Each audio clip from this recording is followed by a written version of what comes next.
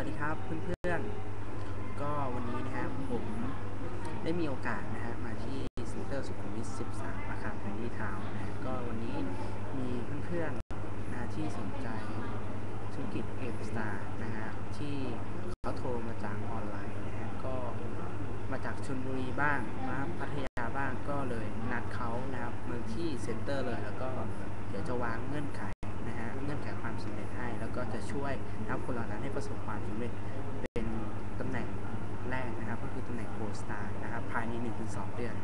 นะฮะก็ตอนนี้นะครับยังไม่ถึงเวลาเลยก็มารอนะครับเพื่อนๆแล้วก็รอทีมงานนะครับหลายสิบชีวิตเลยทีเดียว ก็ถ้ามีโอกาสนะฮะเดี๋ยวจะมาแบ่งปันแล้วก็อัปเดตบล็อกเรื่อยๆนะครับ ก็ขอบคุณนะเพื่อนๆที่ติดตามบล็อกของผมนะฮะแฟนคลับเต้นเอไนะ ก็วันนี้เดี๋ยวฝากไว้เพียงเท่านี้ก่อนนะครับ